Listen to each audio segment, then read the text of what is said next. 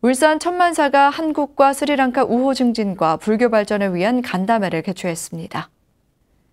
사지 웬디스 주한 스리랑카 대사는 지난달 29일 천만사 대웅전을 참배 후 주지 향덕 스님의 안내로 경례를 둘러보며 양국 우호 증진과 불교 발전을 위한 다양한 발전을 논의했습니다.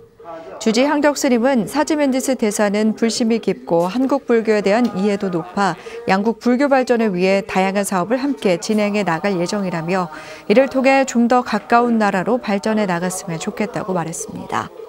사지멘디스 대사는 울산 양식업과 어업에 종사하는 스리랑카 노동자들의 인권과 안전에 대해 늘 신경 써주시는 향덕 스님께 깊은 감사 인사를 전한다고 화답했습니다.